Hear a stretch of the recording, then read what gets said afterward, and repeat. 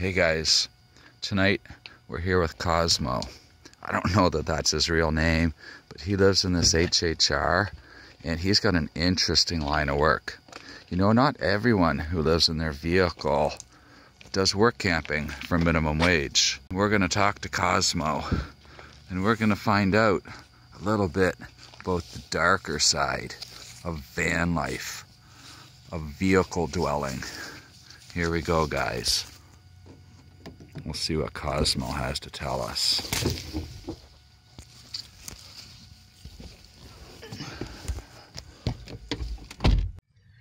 Bubba Box Truck Cory! So we're here tonight learning about the darker side of van life. Not everyone that lives in a vehicle is working in a campground cleaning toilets for minimum wage. Cosmo, he's got a different idea on how to feed himself, how to get by. Let's talk to Cosmo. So, so tell me, Cosmo, how do you make money? How do you feed yourself? What, what, what, what is this binning? T- tell me about this line of work. It's going around to big department stores, that anything that gets returned just gets thrown out. So I take it and sell it to whoever. So you go to, to what kind of stores? What what what, what bins do you hit? Uh, what what what what stores are the best? Um, Mark's Work Wearhouse, some Canadian Tires, Bed Bath and Beyond. Tim Hortons when they have roll up the rim. So you get actual roll up the rim cups.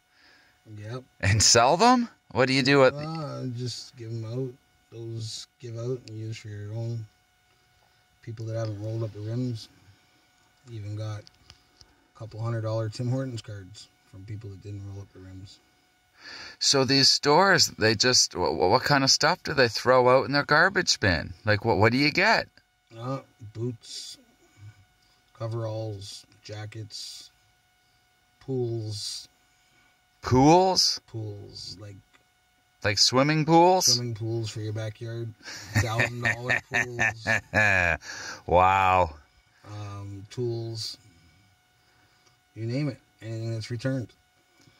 And these in these retail stores, they just throw this this this shit out in their garbage bin. Yep, it's not worth them to put it back on the shelf. And like I thought that they would like sell this to a some type of discounter or whatever. But you're telling me that they put this in this in their garbage bin, and you go out there at night and you grab it and you sell it, and that's how you live. Yep. Wow. Who knew?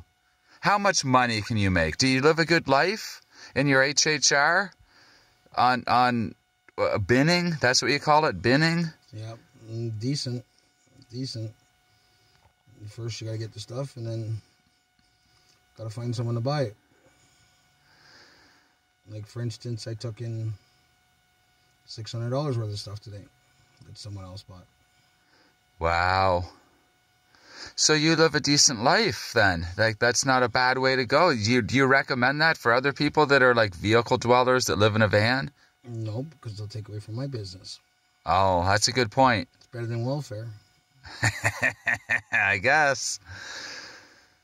I even know people that go in the bins, like department stores, to throw out food. Tell me about the milkman. Well, there was a guy that he took he was living outside all winter. And when I went there, he had shopping carts full of milk, old milk bags that were still full of milk that companies had thrown out. And he was using it for uh, uh, waterbed. See, guys, you think that you need memory foam, four to six inches, but all you need is a bunch of expired bags of milk. Like in Canada, milk comes in a bag. If, you know, in the States, that it might not be as comfortable with cartons, but hey, you know, if you want to try it. And you, you said that he went to the Staples, that the employee section. What was it? The employee area had a barbecue. Yeah, employee area had a barbecue. So anything that the guy got that needed to be cooked, he waited till the store closed, started up their barbecue on their propane, and cooked his meal. Now that's a whole new meaning to saving propane, guys. Don't use propane in your own rig.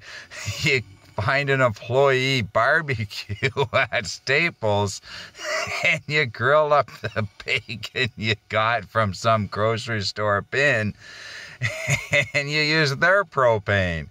Man, there are ways to save money vehicle dwelling. Who knew? Van life can be cheaper than you ever thought. Oh my, the possibilities are endless. Let's find out what other advice Cosmo has for us. Like I had no idea of, of these these options for living cheap. Like my world has opened up. Let's see what Cosmo has to say. I'm sure he's got more advice for us. So, have you ever had any problems in this business? You know, when you're uh, getting into the bins looking for good stuff you can sell? Well, besides raccoons and garbage trucks there to pick up the garbage you're going through. Did you ever have any garbage trucks come while you happen to be in there looking for treasures? a couple. A couple raccoons. Raccoons scare the shit out of you when you open the bin and they want to get out and you want to get in. How, how does that normally go? Do you each take your own side or does it does it get bloody? Mm, you put a stick in, the raccoon comes out, and you go in. I you know, I guess it's better than rattlesnakes or something down south, but you know, raccoons can be vicious. Yep. Yep. And garbage trucks show up and they want to empty it and you're in there. So, do you ever worry about, you know, the popo coming? Like, I, I guess, you know, what are the odds? I'm not stealing it. They're throwing it out. They don't want it. Yeah. What about security at these stores? Is that a problem or no? They're usually big fat guys. They can't run too quick. They don't care too much what you're doing in the bin. They sometimes even want some stuff that's in there as well. Yeah. You know, it, it's an education. I, you know, who, who would have thunk it? Yep, that's it. Do you have any other uh, words of wisdom? Any other advice? Uh, what what would you tell uh, you know people who are struggling living in their vehicle? Uh, any any advice for them? Stay away from my bins. That's all you care about. Well, guys, if you're in the uh, general Toronto area, stay away from Cosmos bins. That's what he's got to say.